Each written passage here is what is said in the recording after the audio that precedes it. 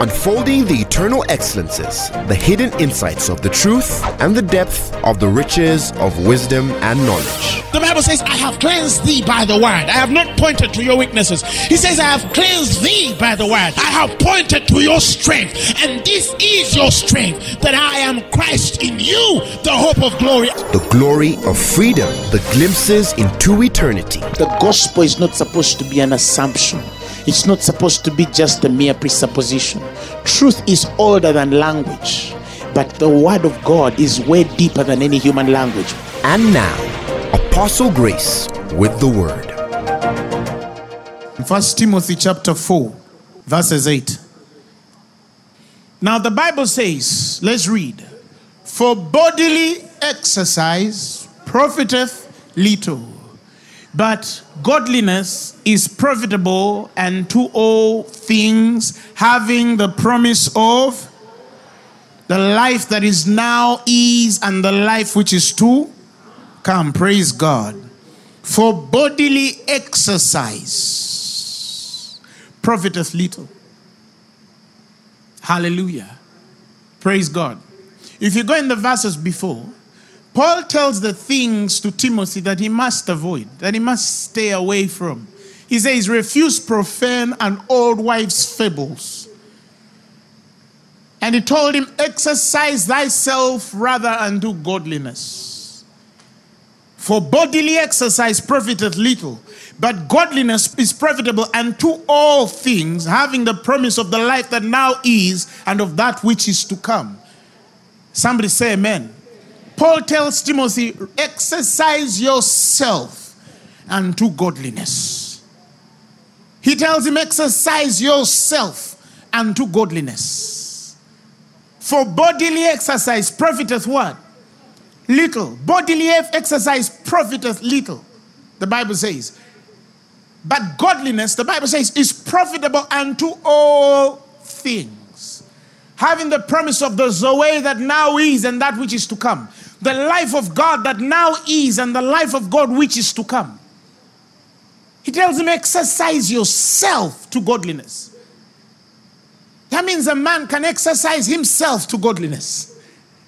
Hallelujah. God tells you that bodily exercise, it's a little profit. He's not saying that it's wrong to exercise. I would rather that every Christian does some exercise of sort. Praise God. Some of you do running, some of you ride bikes, some of you walk. It is profitable. But what? A little. Praise God. Give me the message of that. He says in the message, works out in the gymnasium are useful. Praise God. They're useful. But a disciplined life of God is far more so. Making you both fit what? Today and what? And forever. Hallelujah. So, bodily exercise is okay. To exercise your body is okay. But it has a little profit. It can keep you away from certain things. Hallelujah. But he has said, but exercising yourself to godliness, exercising yourself to godliness, godliness, the exercise, he says it's profitable for the life now, the promise of the life that now is. The guarantee, it is the guarantee, the divine guarantee of the life that now is and the life that is to come. It means it's possible to have a good life now and the life to come. It's possible to be a success, a success in the life now and the life to come. It's possible to be happy in the life now and the life to come. It's possible to live a glorious life in the life now and the life to come. It's possible to, to live a divine, healthy life than now, in the life now and the life to come. It is possible to be a victor, to be triumphant in everything. It is possible for you to register results that are beyond normal in the life now and the life to come. It's possible to write history in the life now and the life to come. It's possible for you to be beyond average in the life now and the life to come. It's possible. But Paul tells you there is an exercise. And many people don't know how to exercise themselves and to godliness. They don't know how to exercise themselves. And tonight, by the grace of God, I want Him to give me the grace to articulate to every heart the way it has to be understood. Because if you do, you'll go in your spiritual gym right away. You won't wait. Hallelujah. You'll start doing your spiritual gym. You see, why Jesus Christ, through Paul, is giving us the allegory of the physical exercise and the spiritual exercise, he tends to mean that, like you see physically, there are people who are strong. Strong. They have muscles like me, they are big. You understand? There are also people who are so small and weak. You can even blow them with a feather. You understand? Like it is physically. Also, it is what? Spiritually. There are spiritual lightweights and there are spiritual heavyweights. Hallelujah. If you have watched boxing before, there is lightweight, right? Then, then there's featherweight. Then there's middleweight. Then there's heavyweight. And in all their classes, they have best. So you can be the best in feather. It doesn't mean that you can match a man of middleweight. Hallelujah. You can be the best in middle class. It does not mean that because you're the best boxer in middle class, it means that you can verse a heavyweight. No. A heavyweight will just punch you out. Are you hearing me? Because there comes a time where it doesn't matter how much skill you have, it cannot withstand the power of another individual. It ain't matter how articulate you are. It ain't matter how blessed you are. It ain't matter how advantaged you are. There is a force that a certain body cannot take. Even if it's misguided, the moment it touches a certain body, even if it's just a misguided punch, but the moment it touches a certain body, it can break you, even if it's misguided. So it is with a spirit. Some people are the best featherweight, some are the best middleweight, some are the best of the med- heavyweight. You can find a man who is the least in the heavyweight, he's still greater than the best in the featherweight. Did you understand what I'm saying? The spirit world is ranked. Tell your neighbor the spirit world is ranked. That is why the Bible says every man matched in each of their course and none breaking their ranks. When you understand the ranking of the spirit, you will know who you need and who needs you and who you don't need. Praise God. You'll know who you need, who needs you, and who you don't need. You learn how to attract and how to repel what you don't need. Hallelujah. Do you understand what I'm trying to tell you? You can never understand true honor until you understand the rankings of the Spirit. If you don't understand the ranks of the Spirit, you will never understand what true honor is. The Bible says, Give honor to whom honor is due. Custom to whom custom is what? Due, and fear to whom fear is due, and tribute to whom tribute is due. Do you know why it tells you to give honor to whom honor is due? One of the most underlying principles of attracting what you admire is to give honor to who you see has it more than you do. There's a certain respect you must accord to those that are bigger than you are. Hallelujah. It does not matter whether you agree with them or you don't. Give honor to whom honor is due. That's a spiritual principle. You can never carry honor for what you don't carry the revelation of its distinction. You see, there's somebody who will listen to people and say, Oh, wow, these men of God are speaking. Yes. But you see, every man of God has his own distinction. And every distinctive mark on a man defines the level and place of honor to that man. Otherwise, any man of God can be treated common. Sometimes, because familiarity breeds contempt, you can be common to a person because you're available to them, or because they see you every day, or because you're there, your friend, or because you're his friend, or your half friend. You understand what I'm saying?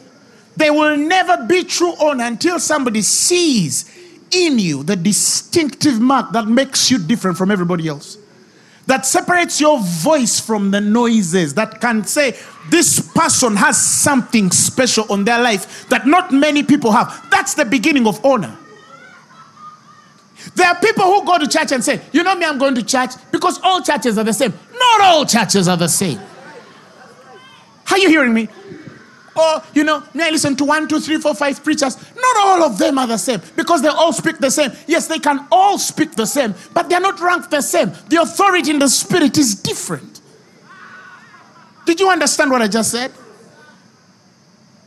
But some people treat uncommon as though it's common.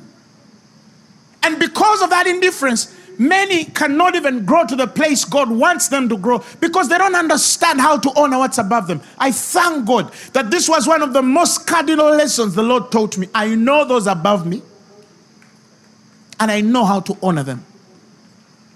If you're a man of God and they don't honor you, don't take offense. It only means the person who you're ministering to has not seen the distinction yet. It doesn't mean that you're you're a little man or you're small. No, it only means they've not seen it. Are you hearing me? And some of them, it's not that they've not seen it because you don't carry the distinction, but some of them probably they've not seen it because they hear what they don't listen to. Are you hearing me? They don't hear the inner voice of your forward expression, of your ministration. Are you hearing me? Even to Paul, are you hearing me? He tells us, Look, I am sharing these things to you that you might know my knowledge in the mystery. Are you hearing me? But to the end that the man will understand to follow after. Even as I imitate Christ, the imitations of the Spirit are not emotional indulgences. Are you hearing me? They're revelations. It gets a certain understanding. That is why when we're growing up, we met men who were anointed. We honored them and they spoke what's in our lives and our lives changed. And I saw people who are around the same men of God and they've never changed even a minute. Why? Because we treated the anointing differently from the way they beheld it. Tell your neighbor, know how to deal with the anointing.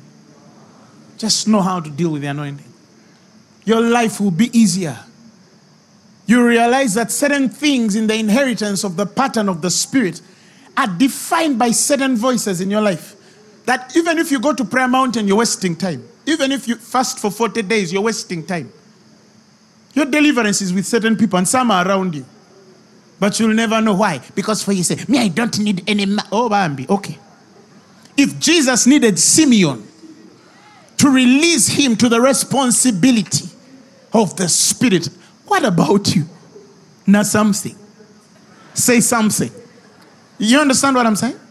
So, men of God, never take offense when your distinction is not seen, but mark those who see the distinction. Are you hearing me? Because if they don't see that distinction, they will worship you instead of honoring. You understand? Hallelujah. Now, there are three major verbs or words in the New Testament Greek language that all mean the same word exercise. Okay? So, yes, you in your Bible, your English Bible, you're going to read exercise, but in the Greek language, there are three things, or three words, or three verbs that all mean the word exercise. And all of them are slight or in a way different from each other, depending on what God is seeking to explain or articulate to the reader of the word. The first word is in Acts 24, verses 16. Praise God. It says, And herein do I exercise myself, he says, to have always a conscience void of offense toward God and man. The Greek word there for exercise is askeo. Askeo. Right? Now, when he's talking about that kind of askeo, askeo, the exercise, that kind of exercise is a form of art. Follow me. It's a form of art to endure sort of labors, a sort of pains In fact, the literal word askeo is to take pains, to develop a form of art to take pains. Are you hearing me? To take pains, to develop a form of art that takes pains. Are you hearing me?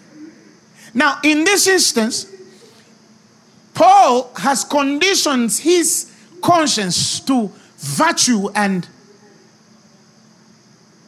and understanding and care and thought and everything else in him to exercise his conscience, to remind his conscience, to listen to the inner voice of his conscience constantly, not to walk void of offense toward man and toward God.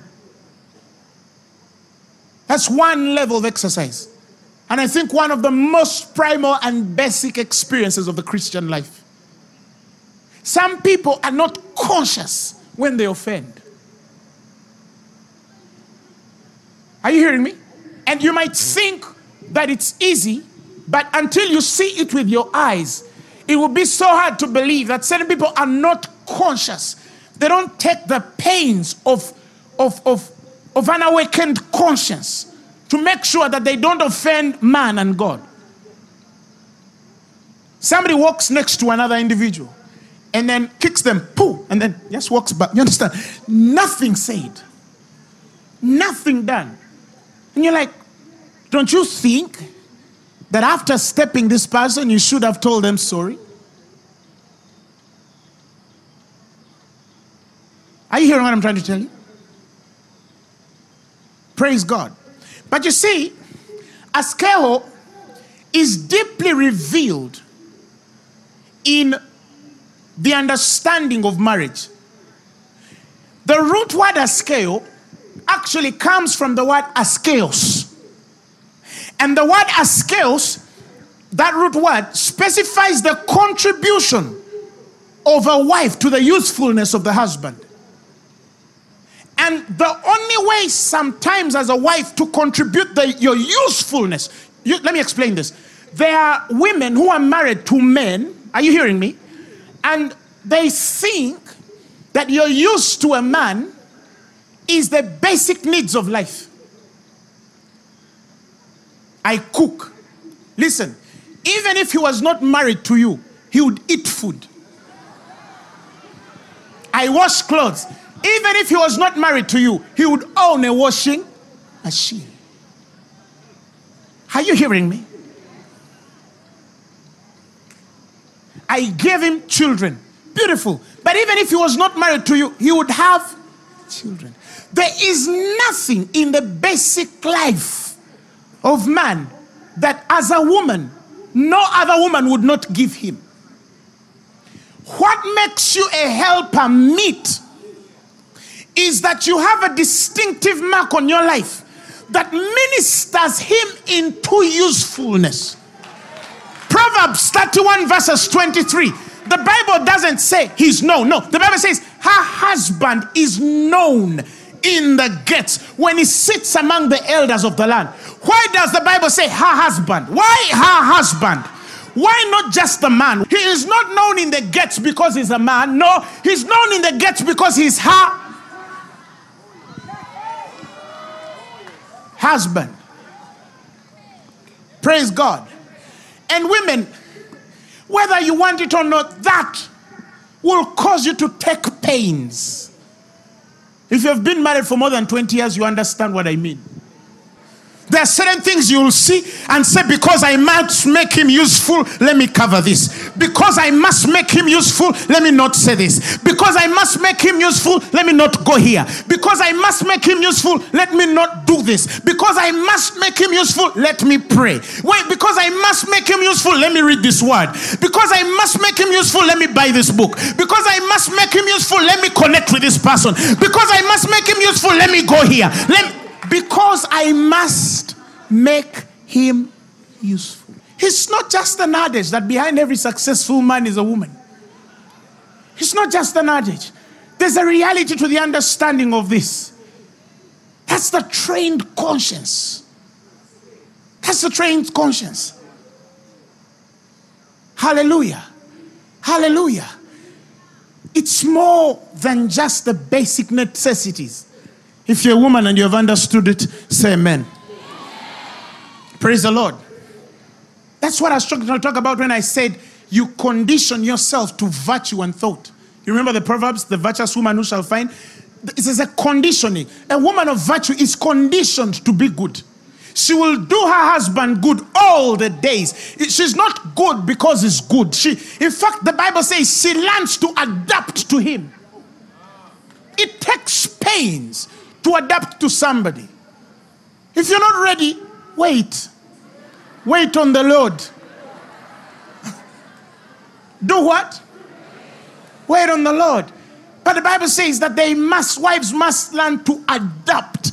Adapt. You cannot change who you have not adapted to. But that's scripture. You read your word, you will see. Are you hearing me? Now, the other definition, let me leave there. The other definition is poieo, right? Poieo, like P O I E O. In Revelation 13, verses 12, it means to do or to execute, right? He says, and he exercised all power of the first beast before him. That is to do, he executed all the power. The word there is poieo, right? But the one I wanted to talk about is the one in 1 Timothy 4 8. Gymnazo. In the English, gymnasium. Are you hearing me? It means to train yourself, to exercise or train vigorously in any way. That means every person who has believed God, you must have a gym in your house. Did you understand what I just said? You must have a what? A gym in your what? Which house am I talking about? Your body, because that is the temple of the Lord. Yet your dwelling place. You dwell in your body. Every believer must have a spiritual gymnasium. And your spiritual gymnasium must be both equipped with enough equipment, praise God, and given enough time to exercise. And he's saying, if you do, this has the promise of the life that now is. The promise, it has the assurance of the life that you now live, that you live a good life. And the life that is to come, that even in heaven you'll be in a better place. Woo, woo, woo. Did you understand what I just said? But people don't know how to exercise themselves. Now, here he tells you exercise yourself to godliness. Put a godly gym. In Hebrews chapter 5, verses 11, he wants to talk to these people the things he believes they should understand but he weighs them by the Spirit and, and feels that they are not able to take certain things. Some things are so complicated for them to receive. And he speaks of this Christ and he says, He of whom we have many things to say and had to be uttered, seeing that you were dull of hearing. So he was dealing with a generation of people who had dull ears. The inner ears were dull.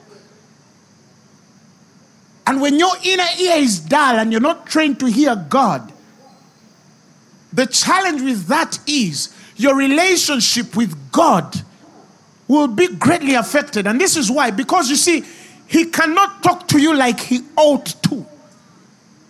He can only talk to you like you should understand, not like He ought to. And you know, there are two kinds of Christians in the world. There's a Christian who God talks to like he ought to talk to him. What, do I mean by that? I mean, God talks to you according to the appointed timing of the Spirit, the given line of divine purpose, the course that is aligned to the assignment and mandate on your life. And everything he speaks is in line and lieu of your lot and part in the bigger picture of the kingdom. That is a land spirit. A land spirit has a trained ear. The Lord has given me the tongue of the land to know how to speak a word in season to him that is weary. And the Bible says, And he wakeneth me morning by morning. He says, He wakeneth mine ear as he that is land. That means my ear is land. He has trained my ear is land. It's a land ear. When he's talking to me, he's talking to me like a land person. You know, as he says, You see, I plan to do this in the world. He will look for people who, when he makes one statement, they will understand. That doesn't mean that everybody in the world understands what's happening. That is how you understand the difference between the people that were thrown to the wolves and they were consumed, and the men that were thrown to the same wolves and they came back leading the pack. The difference is simple. Some people understand the mind of God in the dispensation of that time, and their administration is relevant beyond the gifting of God upon their lives. Did you understand what I just said? Because ministry and gifts are two different things. You can be gifted, but your ministry might be expired. And your brook is dried, and you're ministering from borrowed waters. That even when people hear you, they understand, they carry the freshness of revelation as one who has experienced God face to face. Did you understand what I just said? But that when you speak, they can say, hmm, that, that, that wasn't from you. And now give honor to whom honor is due. You don't even quote the one who you're quoting. Give honor to whom honor is due. Praise God. If it wasn't your coined idea, you, you say, one time a man so so said so. Otherwise, even in the physical world, it's called what? Plagiarism. Isn't it? Yeah, you're plagiarizing another man's work. Now, that is only to people without the covenant. Sons, your father's revelation is your inheritance. You don't need to say, Apostle Grace says, you can, it's okay. But even if you don't quote me, it's okay if you're a son. Because a son or a, a daughter has, they have access to everything within the house. So, don't hear another person quote me who is submitted to this ministry and you say, you're borrowing. No, no, no, no, no, no, no, no. Those are sons. It's entitled to them, whether it's Paul or Apollos, whether things present or things to come. Here he spoke about revelation. He says, All are yours and you're Christ's. If you quote me, good. If you don't quote me, it is still okay. Go amuse your friends and tell them, you know, a revelation sat on me. It will be fine. You're my child. Praise God. I'm not, I won't be intimidated. And I won't say, oh, you stole my lines. No, no, no. The better. You know the joy of every father, like John says, I would that all my children get to the knowledge of what? Truth. He says, my desire is that all my children come to the knowledge of what? Of the truth. That's what John said. That's the true spirit of every father, every minister, that your church members come to the knowledge of the truth and can have free access to everything you have in Christ. That's beautiful to look at. Somebody shout hallelujah. Shout hallelujah. Now, so that that are saying that there are people who who are in tune that where God speaks from the level where he must speak because they carry understanding. And then there are also people who, because they don't carry understanding, God has to go to their level and, and speak to them the things they can understand and lead them the way they can handle to go and take them the place their spirits are able to connect to. The Bible says that when God set the children of Israel free, he led them not on the way of the Philistine, even though it was shorter. Now, the Bible didn't say that God was in his own sovereignty, you know, choiced not to take them through which was actually supposed to be a 12 journey. No. But the Bible says he lists peradventure. The Bible says these people repent when they see war and they return to Egypt. He knew their level of understanding. He knew that the spirit of fear on them, the moment they see war, they will return to Egypt. Do you know that the, the, the sea had to be parted? The spirit of fear on them would find their way to Egypt even though When Pharaoh was chasing them, they needed a miracle to separate the water. This time, whether water is separate or not, it's amazing what a man can do in fear. But here he said, they will find their way and return to Egypt. We don't know how, but they would. And amazingly, the man Moses here speaks as a third person, the children of Israel. That means he was not among them. Mm-mm, he wasn't with them. In fact, if Moses was alone, he would have taken a 12 day journey. Did you understand what I just said? Now, in this instance, 40 days, 38 years around the Mount Seir, and two more years moving to get to the same promise that they would have gotten to 12 days because of the spirit of fear. And God said, Look, because of fear, this is going to take you 40 years. Let me get to your level and we move together 40 years. Cloud by day, fire by night, rock to give you water. Your clothes will not grow old, neither your feet get burned. I will keep all of you. None among them will be feeble. I'll present you healthy. I'll give you every promise that I've promised, but it will take you 40 years. Erafa from you. Are you, are you hearing what I'm trying to tell you? Do you know that some of you, the things you think are supposed to take years, if you had a certain understanding, these things would take seconds? Do you know your next miracle is just a millisecond of revelation away? Oh, somebody receive it. Do you know that your next breakthrough might not need 30 years? Did you know that you don't need to compare yourself with the Peter or the Robert who took, you understand what I'm trying to tell you? Or go through house, house, and people narrating, you know, life is not easy. For me, it took me 25 years, but you see, you're still young, you still have time. One time, many years ago, I looked at a car, then it was the MLs, Mercedes. I said, Oh my God, God, I desire an ML. Now, this guy, This guy, this old guy, is probably in his 60s. I think he's approaching his 60s. He said, Oh, don't worry. You'll drive those cars.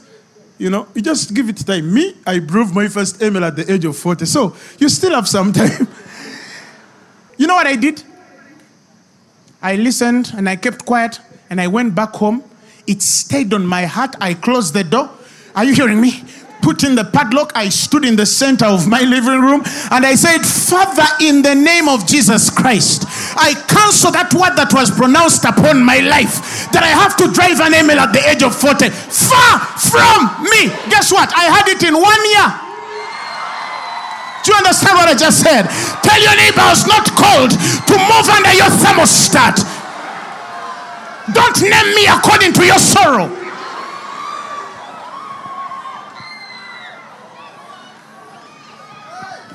She named him Benoni. Oh, he's the son of my sorrow. The father said, Ah, he's Benjamin, the son of my right hand. Some people have labeled you according to their story. They think that because it took them 20 years, it has to take you 20 years. Because they struggled, it you have to struggle. Because things were hard, even you things that I refuse in the name of Jesus Christ. I know the cost that the Bible has laid upon me. He said, All things are possible to him that believeth, and the power of God quickens me in everything God has spoken in my life. That is how it is. So, what if it took her 20 years? So, what if it took him 50 years? So, what? No, you're not me. I said, You're not me. Tell the devil, You're in trouble. Tell him, devil, you're in trouble. Communicate. Tell him. Yeah, tell him, devil, you're in trouble. Big, big trouble. I'm about to do in minutes what takes men years. Say it. I'm about to do seconds. What takes men centuries. I'm about to do in months. What takes men centuries. In Jesus' mighty name. Amen. Satisfy us while it's still early.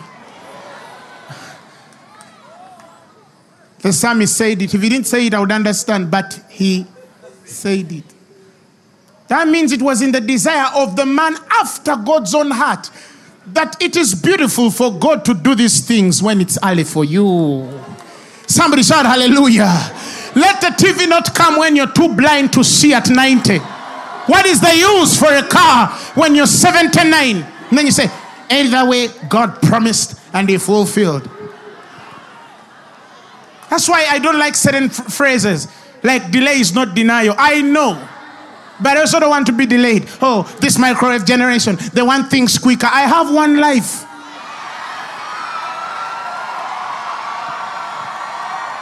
If you have to die and come back and do your own business. Me, I died already and resurrected. I have one more. Are you hearing me? And I am ready and made up to live this life as the Bible has said it to the fullest of what the Word of God has said upon my life. I don't leave anything undone. I'll not leave any page unturned. I'll do it all to the glory of God. Somebody shout hallelujah. Shout hallelujah. So, then I ask you the question Is God relating with you according to the understanding you ought to have and speaking to you as He ought? Or is He speaking to you according to your level of understanding? Such Christians don't have lots and parts in the gospel. No, they are just experiments. They are just hypotheses. Leave that place. Leave that place. Come up yonder. Are you hearing me? Come up yonder. Write your story too. Praise God. Do your thing. Do your thing. Are you hearing me? Sign in your docket. But refuse to be an ordinary person. Now, in Hebrews, it's talking about people who are dull with hearing.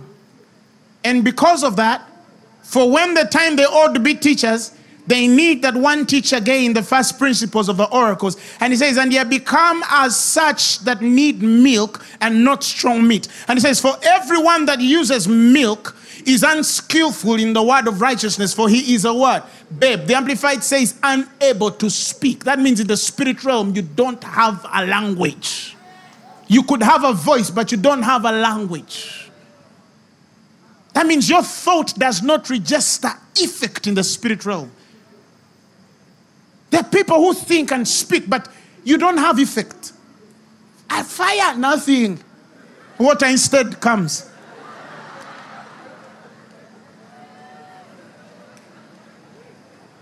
The day, the day you bring a person who is dying to them, they lay hands on the person, the person died immediately. Are you hearing what I'm trying to tell you? But the Bible says, but strong meat belongs to them that are mature. The Bible says, full of what? Age. Who, those who by reason of use have what? Their senses what?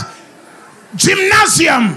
Gymnazo. Hallelujah. Gymnazo. They've, gym, they've, they've, they've exercised their senses. Praise God. To discern both good and evil. They have exercised themselves. Somebody shout hallelujah. Shout hallelujah. The Bible says in Hebrews 12, verses 10, he says, For they verily, for a few days, chasten us. The Bible says, after their own pleasure, I was talking about our parents, but he for our profit, that we might be partakers of his holiness. And the Bible says, and for now, not chastising for the present seemeth to be joyous. Seemeth. Seemeth. You know when, when he says then seem to be? He's saying it means it can only be joyous from the perspective you see. Again, here, we are talking about the mature person and the babe. When we were young, one time I remember, me, me and my brother, we went to daddy and said, Daddy, we want money. I don't remember what we wanted it for. And my father said, Wait, I don't have money. Ah, yeah, yeah, we cut a wire. Then we remembered, but this guy comes back with money. How can he say he doesn't have what? Money when we know even where the money is kept. Listen, when we were little, we did not understand that that was capital for investment to make money to get us fees. So at that particular point, we felt like we were what? Being denied. Yet the same money was capital to do business to take us to school. The same it is with certain Christians. Are you hearing me? Many of them cannot cipher.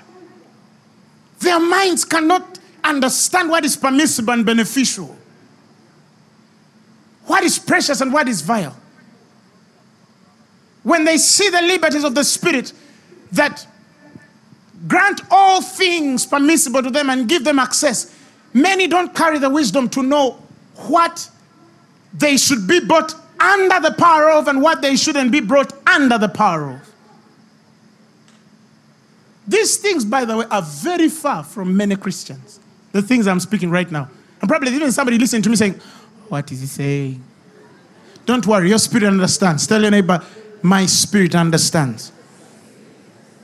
Now, what my father was doing to us is he was disciplining us, he was chastising us.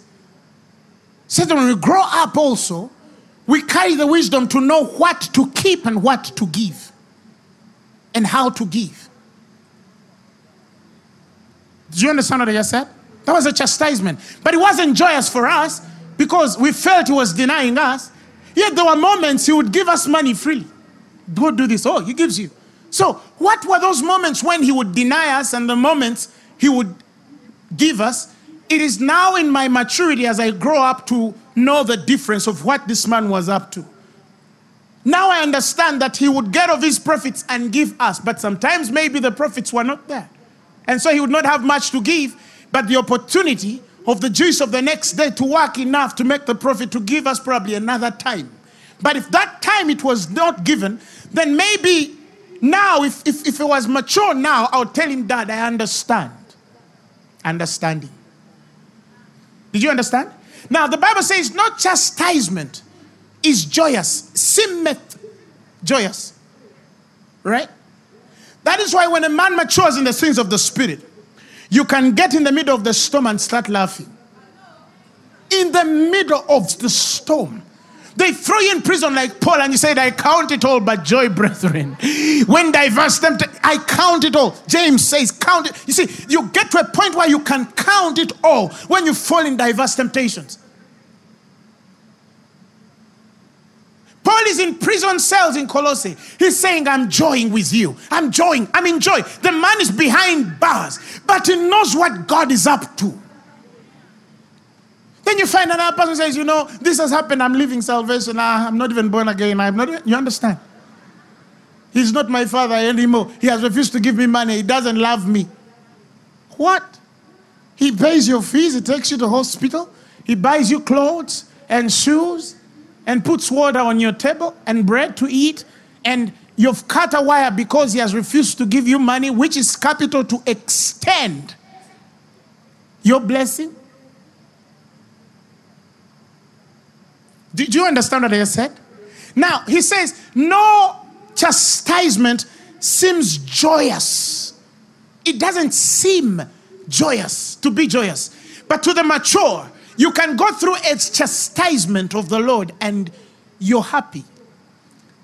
That's why some of you go through things and they say, but why, why is she smiling with the problems she has? Why is that guy happy? Because when they look at you, there is no reason that explains your joy, but you are happy. You're mature. You know the Father is, he, he's up to something. All things are working together for good to them that love the Lord and are called according to his purpose. So you don't even throw back. You don't draw back. You know who you are. You know what you're made of, and you know the end of the Lord. Somebody shout hallelujah. You know the end of the Lord that is very pitiful and tender of mercy. He will not let his righteous see corruption, neither his soul rot in hell. Now he says, but this, this chastisement, the disciplining of the Lord, the Bible says it afterward yieldeth the yieldeth, sorry, the peaceable fruit of righteousness unto unto them which are exercised thereby. That means even in the process, in the waiting process, when you're going through the hardest time, there's a way you must learn how to exercise yourself. And he says, to those that have exercised themselves, it gives a peaceable fruit. The results of it come through. That means that people who, when they go through trouble, they are not exercised enough to withstand certain burdens. Now he tells you, exercise yourself to godliness. What is he trying to tell you? Live where God is. Exercise yourself to live where God is. to think where God thinks from, to relate where God relates from, to purpose where God purposes from, to believe where God believes from, to understand where God understands from. And he means to say, exercise. Can I give you an example? Can I give you an example? You wake up in the morning and you have a pain in your stomach and it's so bad. Are you hearing me? This is pain in your what? In your stomach. Of course, the primary equipment is the word. Tell your neighbor it's the word of God. Yes. Fasting is another. You learn to fast. The New Testament dispensation does not teach us to fast to move God. God has already moved. The New Testament dispensation of fasting moves us to get to where God is, to get to His page. So don't think I fasted and God healed me. No, you fasted and got yourself to the level of faith enough to relate to God's language. And so he healed you. So he didn't heal you because you fasted. And not everybody needs to fast to get to that level. Because again, it's the weights. The things a heavyweight man fasts for are not the things a featherweight woman fasts for. The things a featherweight man fasts for are not the things a heavyweight woman fasts for. So we're all fasting, but we see differently. Prayer is an exercise. He says, speaking, praying in your most holy faith, which is speaking in tongues. Hallelujah. But you see, I always tell Christians as you grow, you realize that prayer, the spirit of prayer, is not complete when a man does not understand how to watch. Ephesians chapter 6, verses 18. Praise God. He says, praying always with all what? All prayer and supplication in the what? In the spirit. And what? Watching. In Second Corinthians chapter 6 and verses 5, when Paul is preaching about the testimony of the gospel, he speaks of how they were in stripes, in imprisonments, in tumults, in labors, in what? Watchings and in fastings. A man who prays but cannot watch is like a man who drives a car when he doesn't know where he's going. Hallelujah. The watchings is the revelation of the end of the Lord in the matter. Phronesis. Hallelujah. The wisdom of God that determines the mode of action to the end in sight because it understands that this end is not only to the dictates of what only God has says, but it also gives this man the responsibility to reconcile his liberties in God with the issue. Because, see, all of us have access by this liberty, but not everybody functions in the same liberty. We're all free to walk in divine health, but not everybody is healthy. We're all free to be rich, but not everybody is rich. We've been given all things freely. The Bible says it gives us all things freely to enjoy, but not everybody can testify the reality of that testimony. Did you get it? The watchings help you. You know how to dictate the way of the Spirit. You can tell a sign before anybody understands it. You know the way of the Spirit. When God comes in a building, you recognize that He's coming through the fourth window before anybody else sees it. Such people are always in tune with divine purpose before others. And before you know that, you will always be ahead of your peers. Always. Always. You'll never be at the same speed with your peers because that's the quickening of the spirit. Watch us stand on doors and windows of the spirit. Somebody shout hallelujah. Although doors close quicker than windows. Okay, now you have a pain in your stomach. It's too much. It's so hard you can't even bend. The way you respond to that pain proves whether you are exercised or not. Are you hearing me? When that pain comes, what does the word of God say?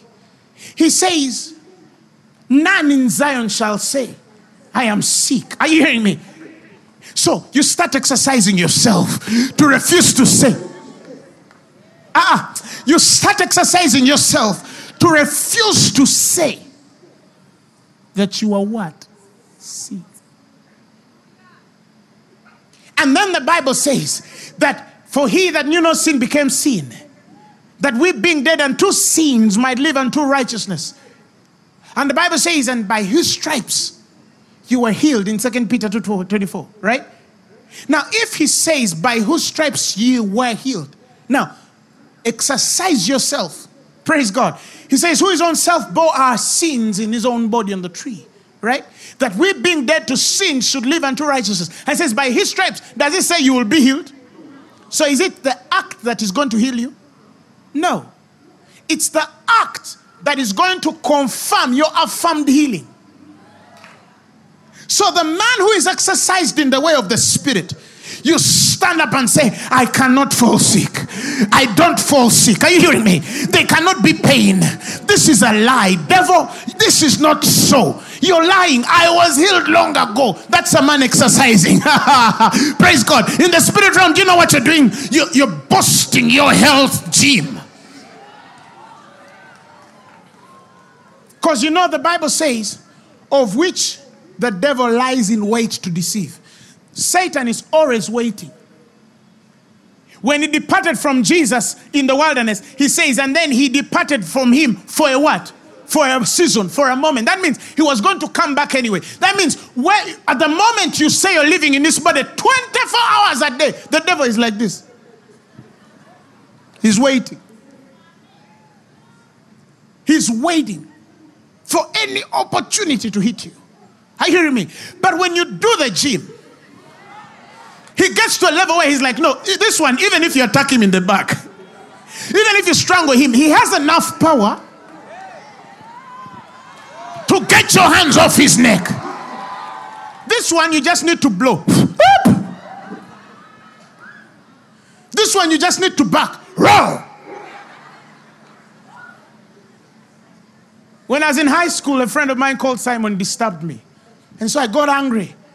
And then I started chasing him. He was a big, big guy like this. I don't even know why I was chasing him. I think I was just angry. So I chased him in anger. Are you hearing me? In anger. And the more he ran, the more angry I became. I don't know what I was going to do to this big guy who is like almost twice my size. At, at that point, my brain wasn't thinking anything. So I said, let me just chase him. I don't even know why I was chasing him, but I just for myself. So I chase this guy. And when I chase him, he runs, runs, runs, runs. And as he sees like he has left me, like I'm here, he's, he's right there on that speaker. He just sounds like this. Then he comes back for me. I just found myself turning.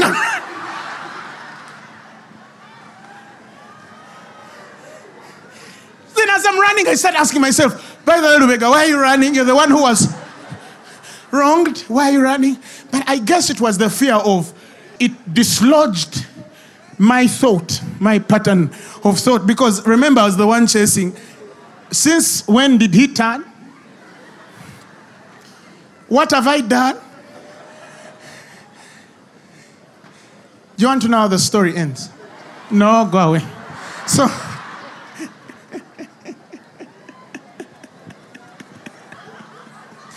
pray for me. So, some people he just needs to run a little like this.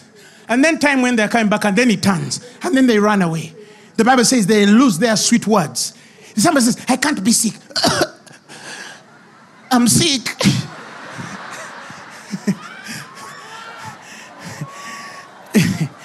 oh, you're, you're a featherweight. You're a featherweight. Are you hearing me? When you exercise yourself, you stick to what you know, that the communication of your faith might become effectual by the acknowledging of every good thing which is in you, which is in Christ. There was a level I got to whether it didn't matter how much I had, you did you could not convince me I was broke.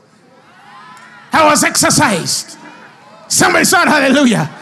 I was exercised to a level where nobody would conv- you can't convince me that I'm an average, even if you do what, there is no way. Because I have convinced, I have exercised myself. Are you hearing me? That is why in your line of prayer, instead of acting, are you hearing me? Glorify God with thanksgiving. Some people are God, help me. If you come through, I will serve you. Do this. No, no, no, no, no. Some of us, when we, when we start praying, when we start praying, oh my goodness, we are like in a gym. You, even after one hour, you start sweating. Father, I thank you because I'm fearfully and wonderfully made. I thank you because everything is working for my good. I cannot fail. I know who I am. I know what is in me. I know what is working in my body. My body is the embodiment of the Holy Spirit, and all things are of God. My heart is of God. My kidneys are of God. My liver is of God. How can it be sick? Oh. Tell your neighbor, exercise yourself.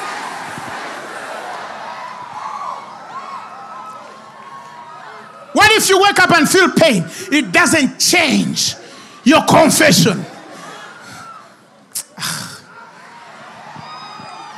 Who told you I'm broke? Who told you I'm weak? Who told you they have failed? Because you've seen this, you think that because this has failed, they, oh no, no. You don't understand what I'm saying. Some of us have too much spiritual muscle.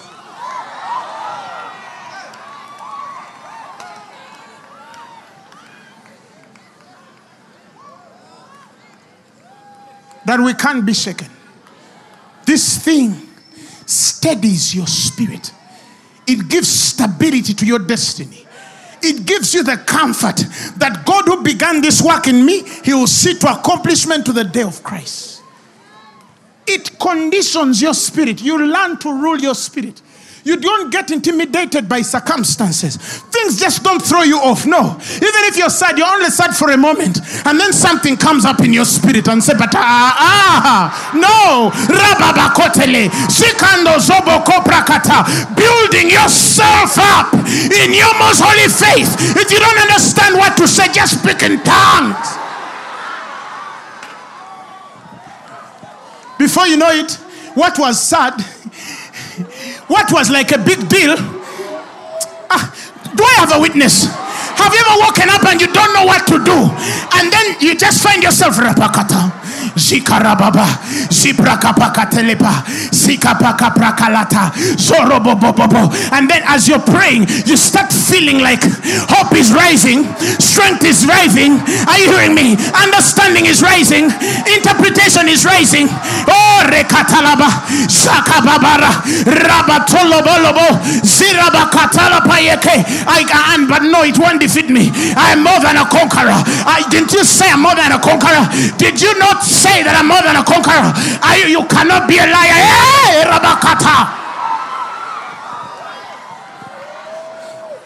But you don't understand it, Apostle. The, the doctor said, you also don't understand it. God said, somebody shout hallelujah.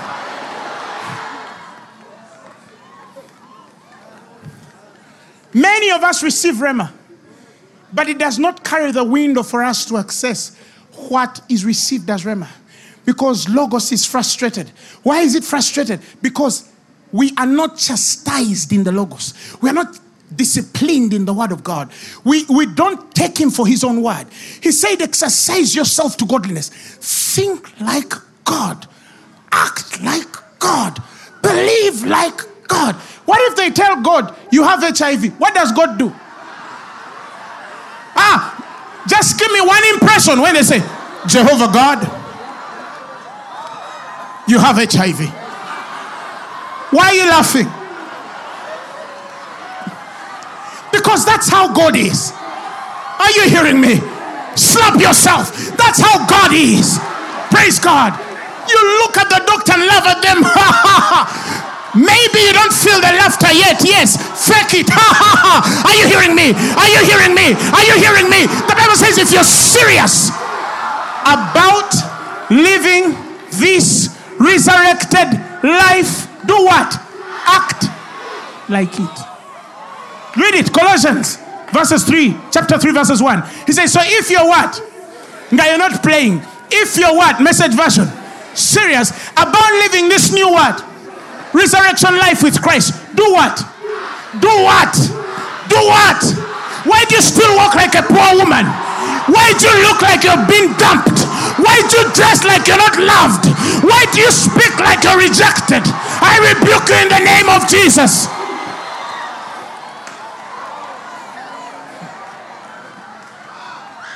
Shereke brakatala pata.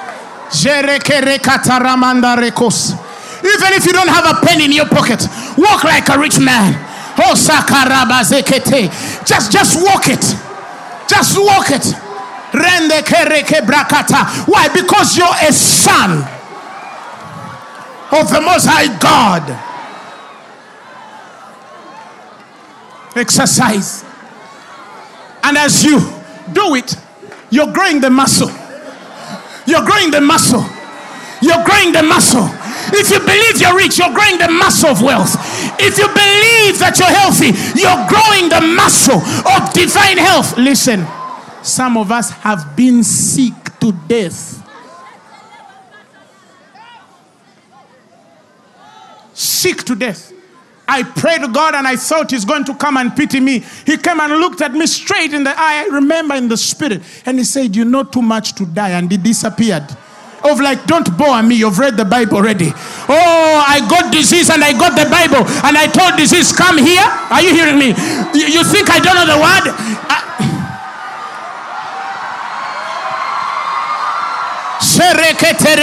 The Bible says, you, you, you listen, listen. I started quoting every healthy scripture that you know in the whole world. I told the devil, I have the life which is of God in me. I have the life which is of God in me. I have the life which is of God in me. I have the life which is of God in me. I have the life which is of God in me. I have the life which is of God in me. I said, I have the life which is of God in me. If the same spirit that raised him from the dead resides in my body, I shall give life to my mortal body. For if I live by the flesh, I shall surely die. But if by the spirit I'll mortify the transactions of the devil, I will live. I choose to live in the spirit. I'm healthy. That settles it. And I'm not going to go to any machine to prove it. I don't need a machine to tell me what God says. That's unbelief. Are you hearing what I'm trying to tell you? That is exactly what I'm trying to tell you. You exercise yourself.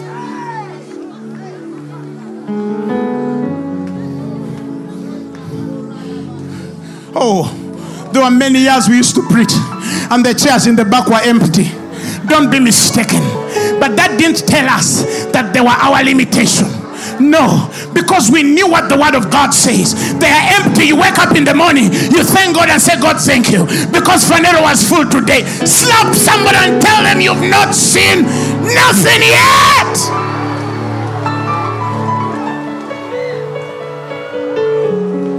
Until we got to times where I would put chairs and our muscles were enough spiritually to fill them. Some of you don't need a breakthrough. You don't need a prophet. You don't need an apostolic hand. You don't need an evangelistic proclamation. You just need to go and build a gym in your house and start working out. Come on, open your mouth. Sharaba katalaba. Jerere mando zobo kotolopa. Zike protolopanda la kazekere. Come on. Come on. Come on. Build your marriage. Build your ministry. Build your life. Walk. Come on. Fix it. Fix it. Fix it. Fix it. Fix it. Fix it. Fix it. Fix your finances. Fix it. Fix your marriage. Fix it. Fix your children. Fix it. Fix it. Fix it. Fix it. Fix it. Fix it. Fix it. Do your gym.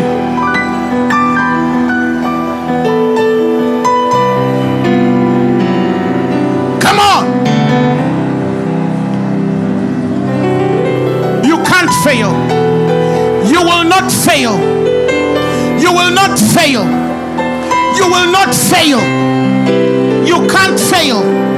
It's too late to fail.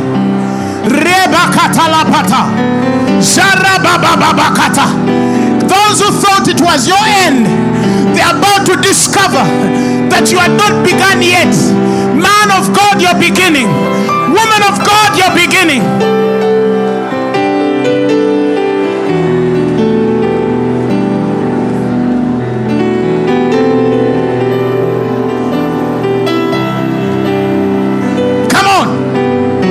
Exercise your blessing.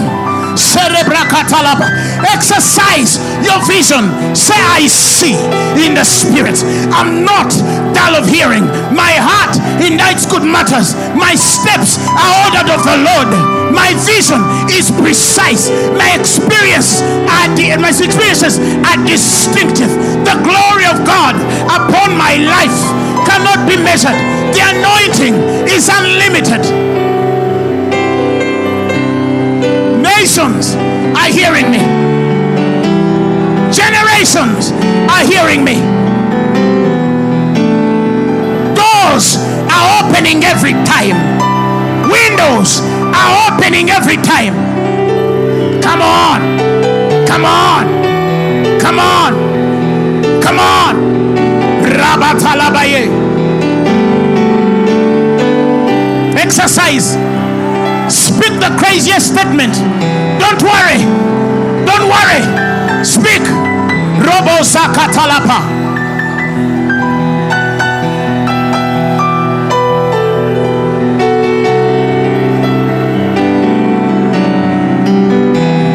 You will live and not die. You will live and not die. You will live and not die. You will live and not die.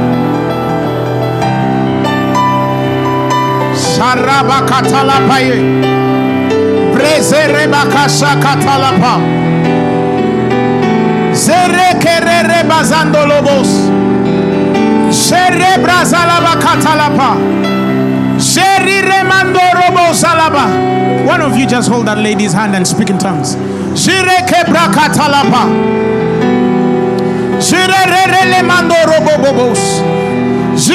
Kebro kotara robos. Eshere brakata. Shere kebatalapa. Yes. Yes. Shire mano robo sabakatelepo. Rosolo brakasa katelebre. Zande kere brakatala payeleba. Zerika baba baba kayala. Saraba baba rabakata. Samando robo bobo bosele. Brarakata la payeleba. Zikaraba. The stars. I belong above and not beneath. I'm the head and not the tail. I'm moving upward and upward only. I'm blessed in the country. I'm blessed in the city. I'm blessed going in and I'm blessed going out. My vines bring forth even before their own timing, and they are ripe and ready. They don't cast off before their time. I produce fruit everywhere I go.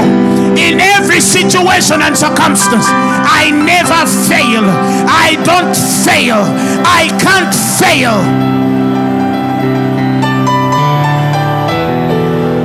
Speak on your future. Speak on the nations that must hear you. Kings shall come to your rising, Gentiles shall come to your light, strangers will serve you. God will esteem you above your people. Speak it. Speak it. Speak your future.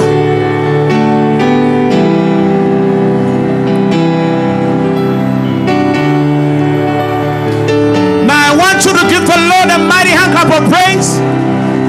Not because I've said clap, but because you believe.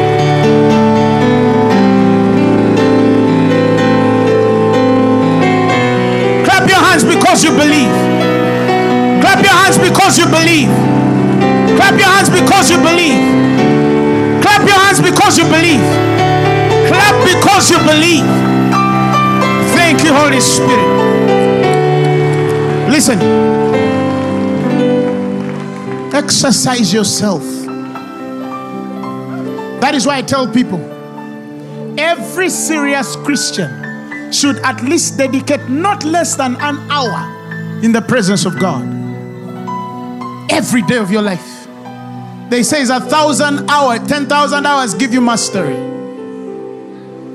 You can't pray a certain way and not have results a certain way. Praying always, always in the Holy Ghost. God wants to raise a generation that can pray. You sit in your car, and the moment you start the engine. Me, I bathe when I'm rabalabalaka sakaraba. I walk when I'm rokobotoloboko robobobo sakatalapa. Why? We are building ourselves in the most holy faith. So get a new song and a new adage. When you're going to pray, you just tell your friends, I'm going to my spiritual gym. Give me two hours, I'll call you. I'm in the gym. Listen, if you're sick, receive your healing. Just receive. Don't pray. Receive. Receive. Receive.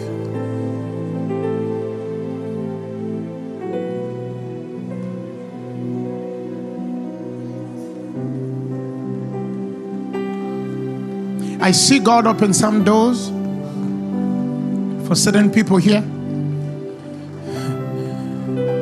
And you're going to enter places in a few weeks that don't look like you. Holy Spirit, confirm that word.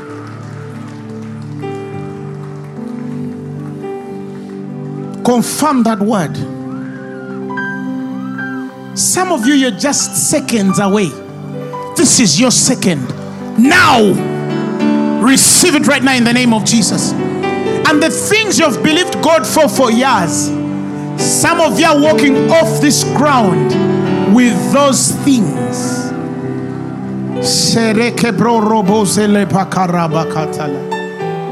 They said in your family, this never happens, that never happens. Some of you, you're walking away with something. Strong men are taken away by stronger men. And I see the of exchange taking place. The eyes of my spirit are open. I can see. Things are exchanging for you. Some people are losing for your gain. Some people are leaving for your entering. Power of the Holy Ghost. Thank you, Jesus. Father, we thank you because it is done. It is done. It is done. Now, if you're here and you've never given your life to Christ, you don't have a gym. You can't even make one. I want to give you an opportunity to come and receive Jesus as your Lord and Savior. He's the one that died for you, shed his blood for you, gave himself for you. I charge you by God that if you're there and you feel that today God is speaking to your heart to receive him as your Lord and Savior, you're going to repeat these words after me. Say, Lord Jesus, I've heard your word, I've heard your story. The Bible says, with the heart a man believes, and confession is made to salvation. Tonight, I receive you as my Lord and Savior. I'm born again. Amen. The message you have just heard was brought to you by Phaneroo Ministries International. For more information, contact us on telephone number 041 466 4291 or email us at phanerookampala at gmail.com. You can also find us on the web at www.phaneroo.org. Or better still, feel free to join us every Thursday for our weekly fellowships at UMA Multipurpose Hall from 5 p.m. to 8 p.m. You can also catch the live stream at livestream.com slash Phaneroo. Phaneroo, make manifest.